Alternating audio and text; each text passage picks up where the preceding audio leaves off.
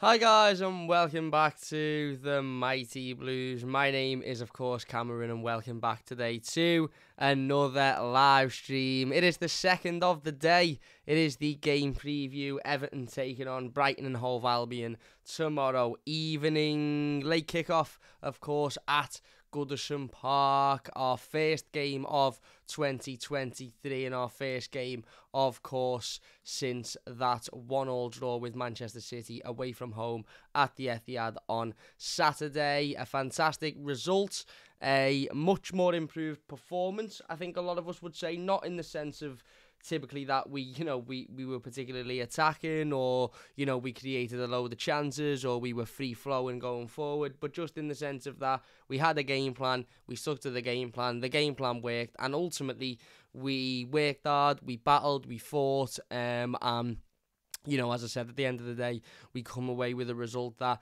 I don't think any of us would have predicted us coming away with prior to the game. So it was a good end to what was quite a stressful, anxious, disappointing, frustration, frustrating, emotional year for all of us Evertonians, and it was a it was a a relatively decent way to end it. I don't want to sit here and glorify a draw because, you know, even though it was against the champions and even though it was a game that I don't think any of us expected to get anything out of, you know, a point isn't ultimately the greatest reward in football. A point isn't something that we should be sitting and massively glorifying because obviously had we have come away with three points, then that would have been the uh, the, the ideal um, outcome. However, as I said, a point away from uh, from home against Manchester City, given the situation we're in at the, uh, at the moment, is never, ever, ever a bad point. It's never a bad point anyway. You know, even if we were at the top of the league challenging for the title, it wouldn't be a bad point. Certainly, given the, the you know the previous few performances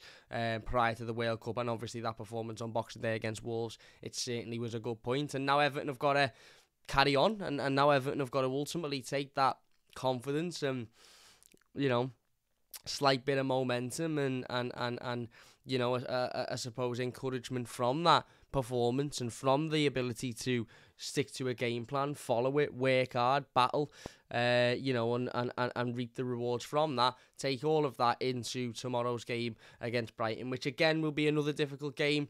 You know, uh, I don't want to sit here and say it will be uh, much easier than Manchester City, but you know, obviously Manchester City are a team with an embarrassment of riches and, and a ridiculous amount of quality in there, whereas Brighton haven't quite got that. But Brighton are still a very, very good side, tenth in the Premier League currently, sixteen games played, one less than Everton, seven wins, three draws, six losses. Obviously, Everton only having three wins this season, so four more wins than Everton, twenty-four points they currently sit on, which is nine points more than what Everton currently have. Obviously, they've had a change of manager during the last couple of months or so. Graham Potter, who of course was Brighton's manager for a, a number of years, uh, and you know really the the man responsible for creating this Brighton team, and not only for you know bringing them up and and, and, and stabilising them in the Premier League, but also for you know, making them a, a, a competitor. Now, obviously, Brighton aren't a team that you look at at the start of a season and think they'll be challenging for Europe or they'll be challenging for,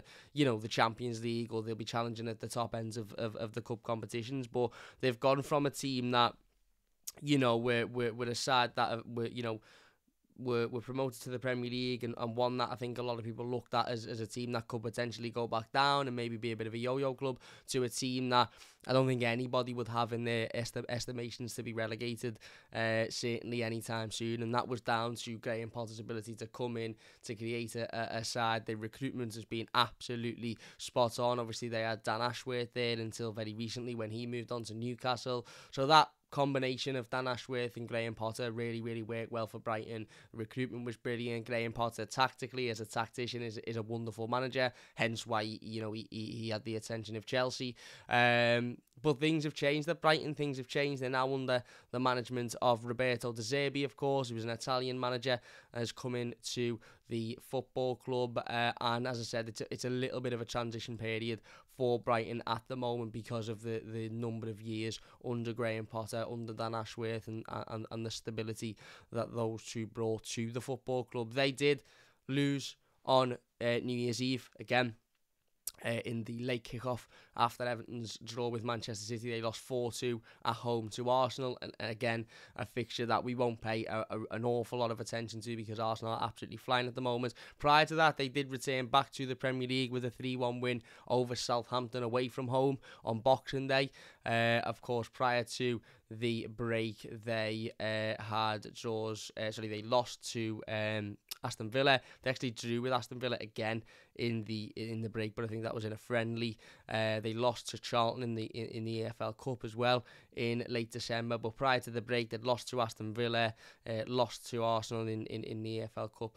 Uh, uh, sorry, beating Arsenal in the EFL Cup third round away from home, which was a, a big result to them beating Wolves early uh, November as well, away from home, uh, and beating Chelsea 4 1 in that big game, of course, uh, as Graham Potter's return to um, Brighton wasn't a, a fair one for him. But one thing I'm noticing quite often with Brighton's form at the moment is their away form is is pretty pretty good. A win at Southampton, as I said, on Boxing Day.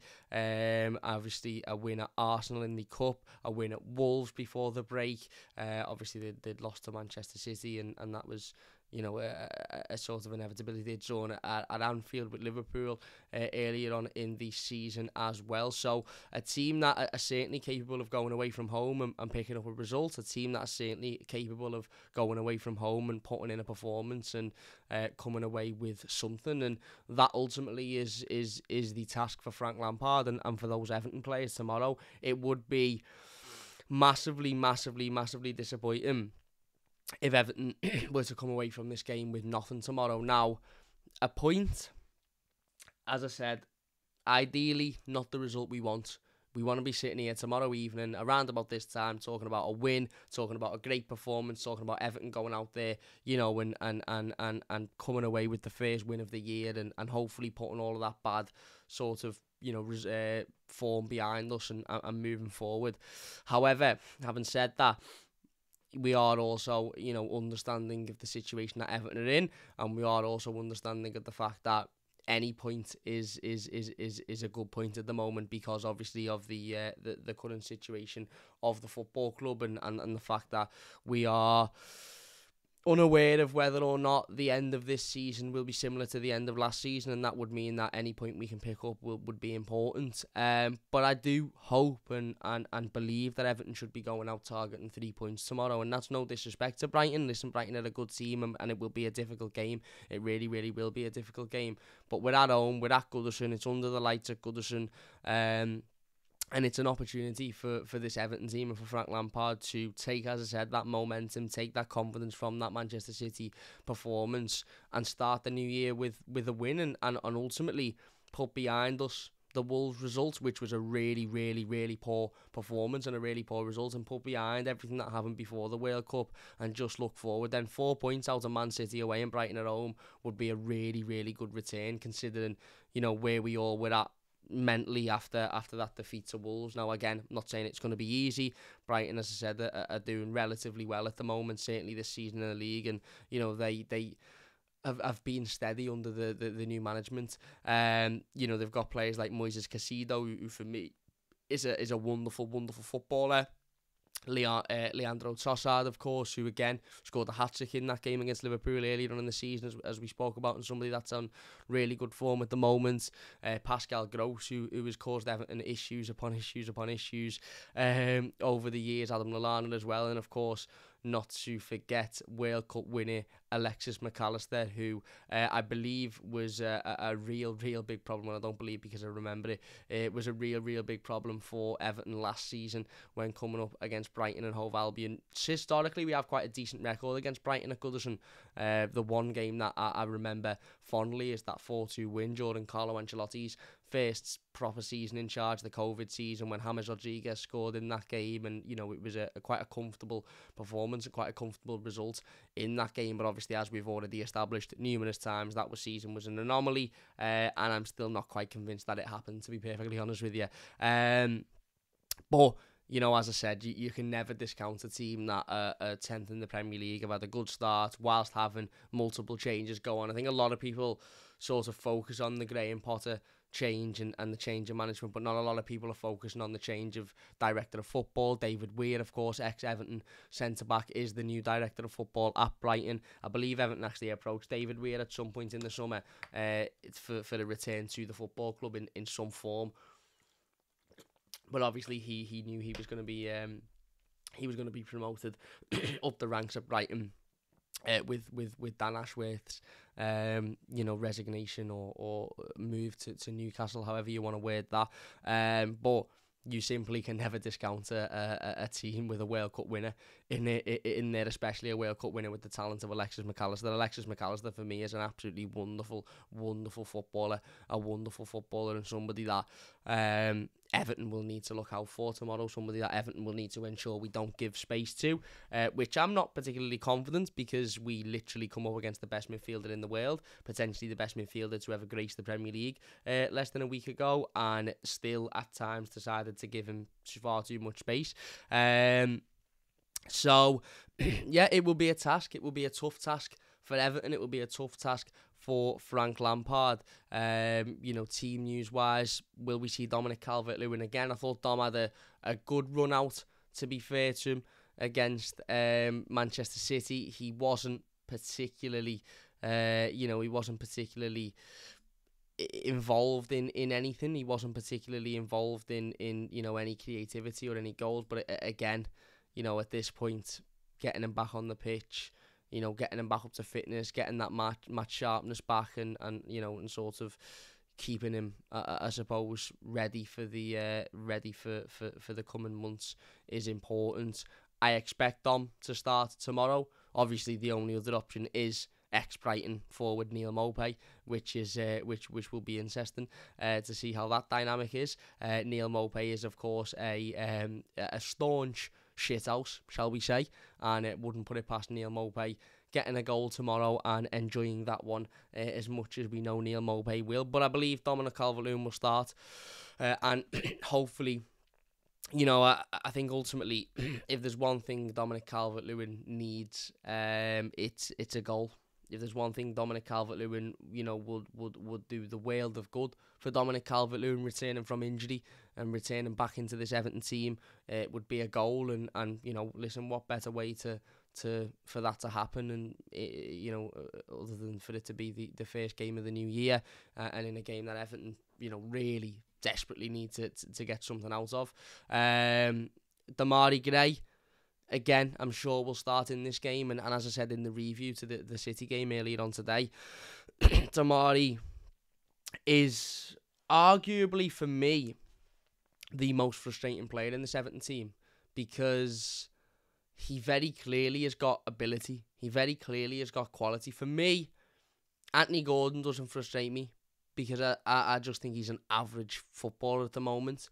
I think he's got a bit of grit, a bit of determination, and he's got ability but other, but uh, the uh, uh, the ability of, a, of, of a, an average Premier League forward. Dom, again, injuries not really frustrating. The most frustrating footballer for me at Everton Football Club is Demarai Gray, because how many times do we see him do what he did against Manchester City?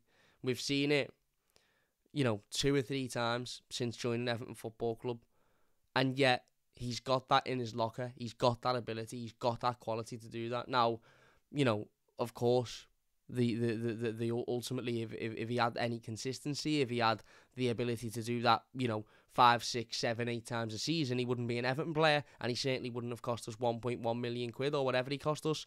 But the reality is, is he's got that quality. So why can't he find that consistency? Is it confidence? Is it attitude? Is it determination? What's the reason? And if it's confidence, he should be going into this game tomorrow really confident because ultimately he's just he's just scored a goal that has won. I think it won BBC Goal of the Month, um, Match of the Day Goal of the Month today. A, goal that you know ultimately uh, uh, against the champions. Not many players will score goals like that. So hopefully, you know he's got a, a lot of confidence going into this one. Whether or not Anthony Gordon starts, I'm sure we we'll wait and see on that one. Um, considering he was, uh, you know, of course, absent with an with, a, with an illness for that game against Manchester City.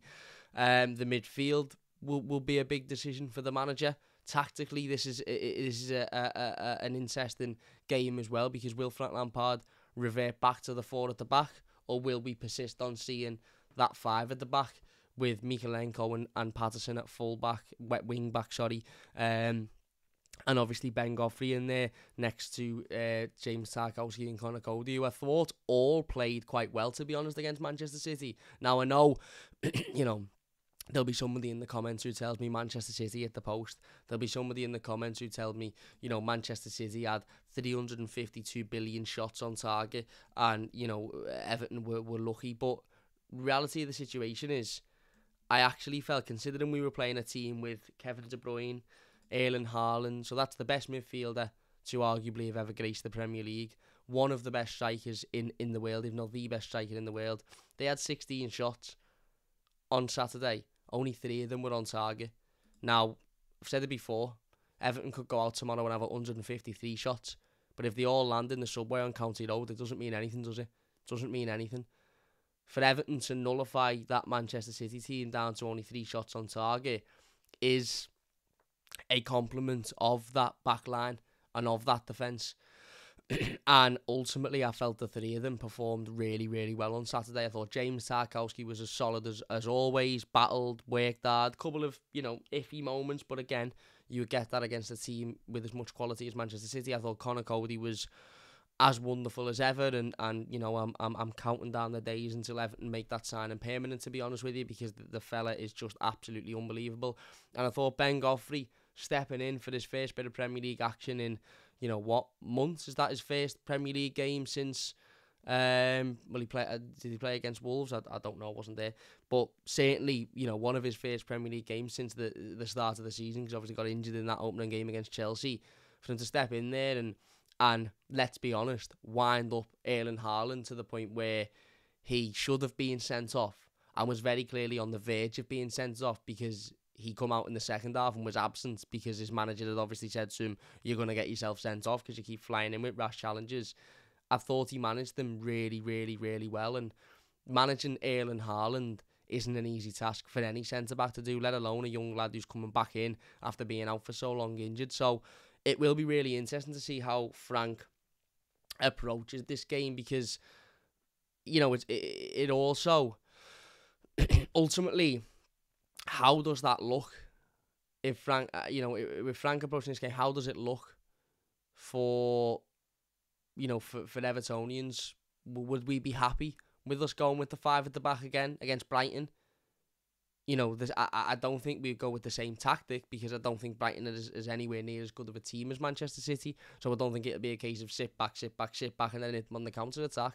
Maybe it will be, but it would be very, very harsh to take one of Ben Godfrey, James Tarkowski, or Conor Coady out of this team because I thought they were all exceptional. And if we were to play five at the back, and then that obviously means your fullbacks are pushing on, then who sits in that midfield? Is that then a you know a a, a three five two? So do you then have uh, you know your usual midfield, and then you have I don't know Neal, you know Dominic Calvert-Lewin up front next to Demarai Gray maybe, or do you have wide players. I, I, again, I'm not really quite sure how Frank will, will go with this. Um, but I wouldn't be massively opposed to seeing the, the three at the back again because I thought they performed well. And it's all well and good saying, oh, but three at the back's a negative formation and we need to be more expanded. We need to be more forward thinking. We need to be this, we need to be that. We've played the four at the back for 90% of this season. And whether we have two wingers and a striker, whether we have two wingers, a centre attacker, midfielder, and a striker, we haven't really got the quality up there, have we? So can we afford, uh, afford to have an extra centre back in there and maybe lose Dwight McNeil or Anthony Gordon or you know whoever else? Probably yeah, because it's not like these players are, are setting the world alight. It's not like these players are setting the world on fire, is it? Let's be perfectly honest, because they're not uh, and you know they haven't all season. So it will be interesting to see what Frank does. Um, as I said, you know, obviously you had Garner and Onana in there, Iwobi sort of playing more so on the right hand side, and, and Dominic Calvert Lewin up front. Um, but it would it will it will be interesting to see what, what the manager goes for. But ultimately, for me, this is an opportunity uh, to, as I said, kickstart the new year with with a win, and that's not me disrespecting Brighton because I watched Everton go to Bournemouth and concede seven in a week against the Bournemouth team that hadn't scored a goal for about six decades. So I'm not by any sense of the imagination sitting here and um, and disrespecting Brighton or saying it'll be a walk in the park or anything like that because I'm not stupid and I know it won't be. But I also can't sit here as an Evertonian and think, oh, I can see us losing. I, I just think, yeah, I just think we should be going out and, and winning these types of games in the same way as I thought we should have gone out and beaten Wolves, and we didn't.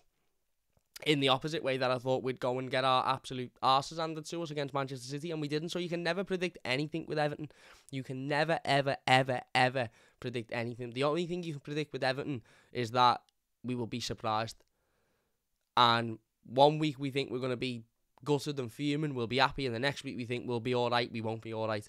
You can never predict anything, uh, and I just hope that we can all be sitting here this time tomorrow night with a smile on our faces saying, Do you know what? Four points out of them two games is a good return. Let's move forward. Now we've got Man United in the Cup on Friday, and then we can move forward into, eh, you know, into hopefully putting a, a little bit of a decent run of form together in the league. But a defeat tomorrow would be devastating because it would ultimately write off anything positive from that Manchester City game. It would cause more disruption, it would cause more negativity, it would cause more worry, more anxiety, it would put Frank Lampard under the the um under the pressure even more. And again, I'm not sitting here as a, a, massive advocate of Frank Lampard. I'm not sitting here saying he's a void, you know, he should be void of criticism. I'm not sitting here saying he's done nothing wrong. Personally, for me, at the moment, I struggle to see Frank Lampard seeing out the season. I'll be perfectly honest with you. But that might change, and I hope that does change because I can't be asked with another manager coming in. I can't be asked with us being where we were last season, where we sack a manager in early January. We haven't got a plan, so we spend three weeks trying to sign a manager. We don't bring in the players we need because we haven't got a manager to bring them in for. And then we're in the exact same position as we were last season because we mightn't be as lucky as we were last season. We also haven't got Richarlison, which I'll keep saying because I keep, keep, keep, keep, keep battering on the fact that this isn't the same team as last season. So when people say we'll be all right, we were all right last season, this is not the same team. We are missing a lad who scored what seven, eight goals last season, and we've replaced him with two lads. One who's currently scored two goals, and then the other who's only scored one so far. So yeah, um, listen, I think this will be a tough game but it's a game Everton can win in terms of predicted starting 11s. I am going to go with the same team as what started against Manchester City. Pickford in goal, Mykolenko left wing back, uh, Patterson right wing back, Coady Tarkowski, Godfrey in there. I'm going to go with Onana gone and Iwobi in there, but obviously I won't more so on the right. And I'm going to go with Gray and Calvert Lewin. I can't see Gordon coming back in particularly. Um, I can't necessarily see Maupay starting unless Dominic Calvert-Lewin's team not fit enough to play two games in that short period of time, and maybe that will be the case. Maybe we'll see Maupay start and Dom come off the bench because you know it's too soon for Dom to play, you know, two games in in in such a short period of time. But however, again, I do think we'll see five at the back, um, and I do think that I, I have no real big issue with it because, as I said, I think Ben Godfrey was spot on against the best striker in the world at the moment, and I think the other two have been spot on for um for for, for, for all of the season. So, oh no, Chris, Onana can't play. Of course, Onana can't play. What an idiot I am. Onana's out injured, isn't he? Uh, sorry, not out injured. He's, he's suspended. Um, so it won't be the same team as, as as what played against Manchester City because Onana's suspended. I would assume it would be Abdoulaye Doucouré who fills in for Onana. Now, again, that's up in the air because we don't know whether or not Abdoulaye Doucouré will be an Everton player come the end of, um, you know, come the end of the, uh, the, the, the transfer window. But the only other option is Tom Davies because James Garner's out with an injury. And I think Davies is less like for like than Doucouré for Onana. But who knows? Frank might sit there and say, listen, ultimately, you know, Doucouré mightn't be here in a couple of weeks, so I'm going to give Davies a go. I, I, don't know, but I would assume it would be Doucouré over Tom Davies. Uh, Rob says, evening Cam from Belfast, hope you had a good break in Tenerife. Cheers, mate, I did. Peter says, come on, Blues need the result tomorrow. Uh, is no on out with Carter Hernandez, he is. Um, Damien says, I'm afraid that everyone knows what shit position we are in in every department who would want to manage us good point. Uh, and Garner was uh, Garner as a six was class start of the season. Talk about the defence, he was a major reason why the club was doing so well. Only ever made one error at Everton. That opponent scored in the United game. Yeah, I think Garner's been okay since coming back. I think there's been some games where he's he's played well and he's looked good. And I think there's been other games where even though he mightn't have made a mistake or he mightn't have particularly been at fault, he's just looked legless or he's he's not really being close enough to the game or he's not really being involved enough. Um, having said that, we haven't really got any other option. So Garner will start tomorrow. Um, but yeah, look, there you go.